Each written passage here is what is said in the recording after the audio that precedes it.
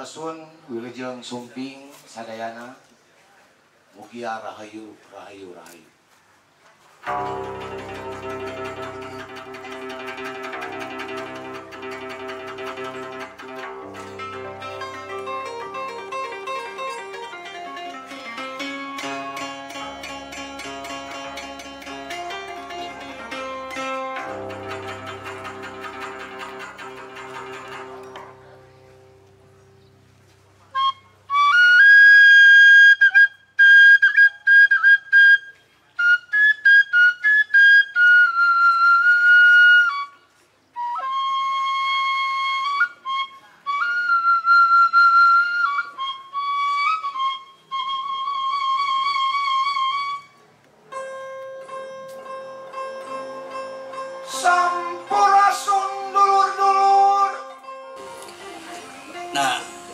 sebenarnya namanya padi salibu ini merupakan teknik tanam yang dilakukan di tanah datar, sumbar, banyak dilakukan tanah datar. Saya berharap eh, Jawa Barat ini mempunyai pemikiran dan visi-visi strategis untuk eh, bangsa ini. Karena Kang Burhanuddin Abdullah eh, selalu mengatakan Jawa Barat ini setara dengan Argentina setara dengan Meksiko, setara dengan Australia. Maka saya harap dengan mengajak eh, Pemprov, mengajak Pak Kadis yang ternyata sangat cendikia, bisa mem- membuat sebuah kolaborasi-kolaborasi dan kami menyediakan laboratorium kami sebagai tempat berkolaborasi dengan Dinas Pertanian. Kebetulan Pak Endang ini belajar pertanian selain di Malaysia, di Vietnam, di Myanmar, dan macam-macam di eh, zona Mekong. Nah, ayat sekeri, cekeri ini kalau pandang omat-omatan itu padi anti stuntingnya telaku pak, padi anti stunting tuh teraos, jadi terpulan. Tapi itu eh, merupakan sebuah eh, inovasi yang harus dilanjutkan. Cekeri tadi sudah melihat di omatan Pak Endang dijadikan bubur. Nah ini sebuah uh, tindak lanjut dari kolaborasi-kolaborasi kita. Prinsipnya, alhamdulillah, terima kasih pada perhatian uh, semua stakeholder, pada dinas uh, provinsi. Mudah-mudahan hari ini menjadi titik awal bagi kita semua untuk berbuat yang terbaik untuk ketahanan negeri, kemakmuran rakyat, terutama tata Sunda. kuring mujauna akarayatna rek rumawat kabudayana rek rumah lemah China getih kuring rehab kuring batin kuring sukmak kuring piken Sunda sangkan nandir nandir nandir di buana.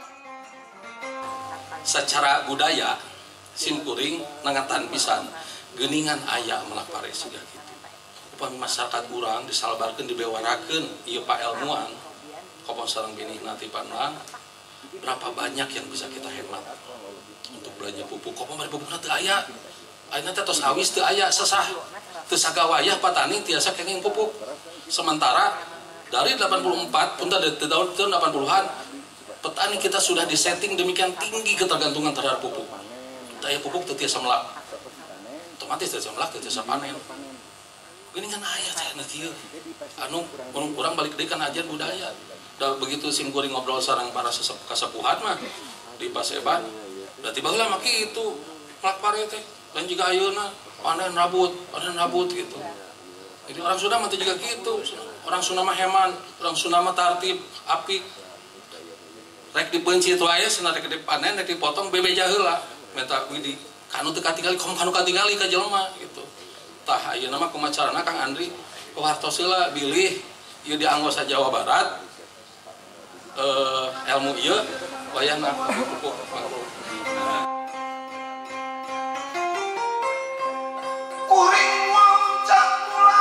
lamun Sunda can menang Makalangan kuring wa loncat pulang lamun Sunda can menang makalangan getih kuring rengap kuring pikeun Sunda sangka nanjar nanjar nanjar di buana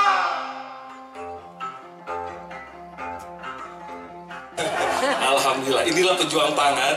Saking semangatnya, Alhamdulillah.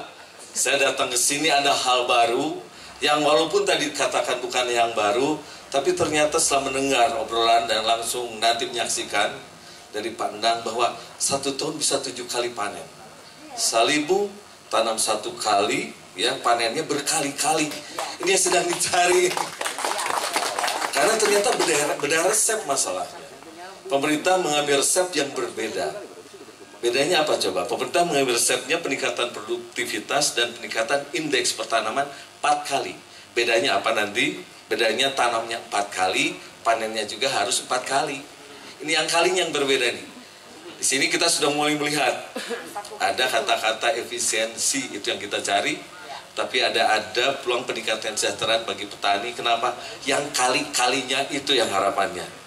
Jadi resepnya gampang sih. Resepnya gampang. Bagaimana kita meningkatkan produksi, produktivitas sekaligus meningkatkan kesejahteraan para petaninya. Bagaimana kita meningkatkan kesejahteraan para petani? Resepnya hanya satu. Kurangi pengeluarannya, tingkatkan pendapatan. Tadi ketemu dengan si salibu itu tadi ya kelihatannya. Ketemu nih dengan salibu, satu kali tanam, panen berkali-kali tadi Pak Andri dan Pak Dani menyampaikan bahwa ada efisiensi karena kita tidak perlu beli benih dua kali karena tandurnya cukup satu kali. Kita tidak perlu mengolah tanah berkali-kali karena biaya pengolahan tanahnya juga tidak harus dilakukan. Apalagi tadi banyak sekali yang sifatnya mengurangi biaya produksi untuk menanam padi kan suatu. Ya, jadi alhamdulillah ketemu nih Cuman tinggal bagaimana Jawa Barat bersikap nantinya ya bersikap apakah kita akan mengadopsi teknologi ini? Walaupun bukan teknologi baru Bu Keri ya. Tadi dijelaskan teknologi ini adopsi dari tanah datar di Sumatera Barat. Kita perlu pembiasaan. Tapi biasanya motif membiasakan adalah motif ekonomi yang biasanya. Karena yang namanya manusia mah keuntungannya harus nomor satu biasanya. Karena pertanian adalah usaha tani harus menguntungkan saya yakin ini salah satu resep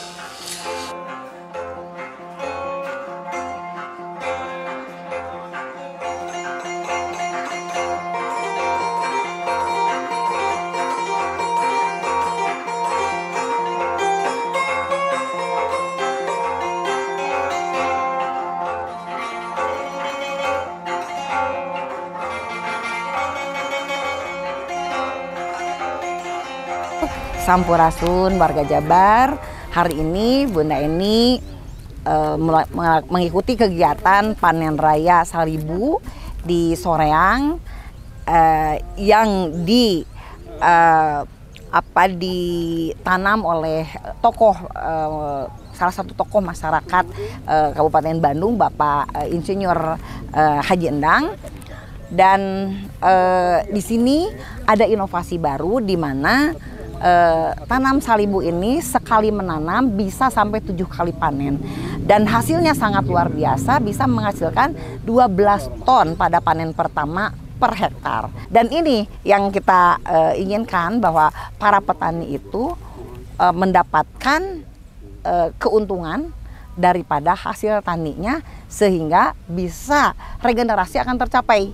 Karena sekarang kesulitan sekali untuk eh, regenerasi daripada kaum tani nah, masyarakat tani. Walaupun eh, sekarang provinsi Jawa Barat me, apa namanya me, me, apa, membuat suatu program yang namanya petani milenial. Akan tetapi eh, hasilnya belum eh, maksimal. Dan ini harus eh, terus eh, kita berinovasi peran serta perguruan tinggi peran serta eh, masyarakat peran, peran serta para pengusaha kalau jelas-jelas adalah peran serta pemerintah untuk eh, sama-sama mewujudkan program ketahanan pangan nasional menjadi lumbung padi nasional khususnya yang ada di Jawa Barat.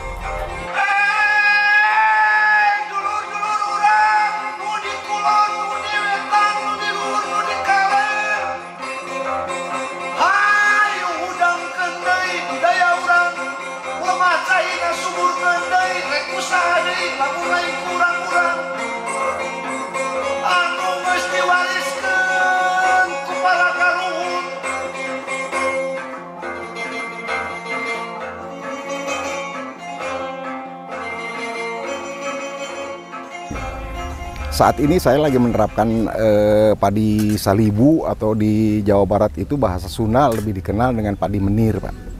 Gitu. Padi salibu itu adalah padi yang tidak ditanam ulang, Pak. Itu bisa mengerit biaya dan percepatan panennya itu bisa lebih eh, lebih cepat, Pak. Gitu. Padi salibu itu dikembangkan di Sumatera Barat, Pak, di tanah datar gitu. Padahal salibu itu adalah teknologi lama, bukan teknologi baru gitu. Malah di Jawa Barat dulu orang tua saya sempat e, melakukan padi menir namanya Pak. Gitu.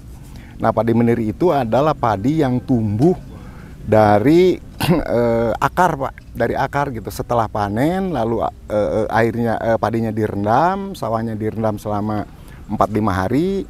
Setelah itu tumbuh ratun Pak, setelah tumbuh ratun baru dicacar gitu dan usia panen salibu itu eh, hanya 70 sampai 75 hari Pak dari dari dari penyacaran gitu. Dan biayanya itu paling banyak hanya 60% dari eh, tanam biasa gitu Pak. Nah perbedaan antara salibu dengan tanam biasa, tanam biasa itu ada persemaian, ada tandur, ada benih gitu. Nah kalau salibu itu tidak ada itu sama sekali Pak. Jadi artinya apabila dikelola dengan baik dan benar, maka salebu itu amat sangat menguntungkan Pak. Di samping e, mempercepat panen dan jumlah panen pada satu tahun itu bisa mencapai lima kali gitu. Nah kalau padi biasa kan hanya tiga kali gitu.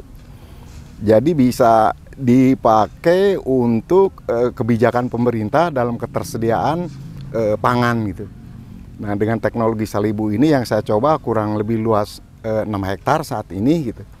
Yang lain baru eh, ngaramet mino lah bahasa Sunda itu Pak matun gitu eh, salibu sudah mau dipanen Pak harapan saya dengan teknologi salibu ini eh, satu lah saya menjadi apa pionir gitu dan diikuti oleh orang-orang eh, petani lain gitu. Karena salibu itu menurut saya sangat-sangat menguntungkan gitu dibandingkan eh, tanam padi konvensional. Gitu.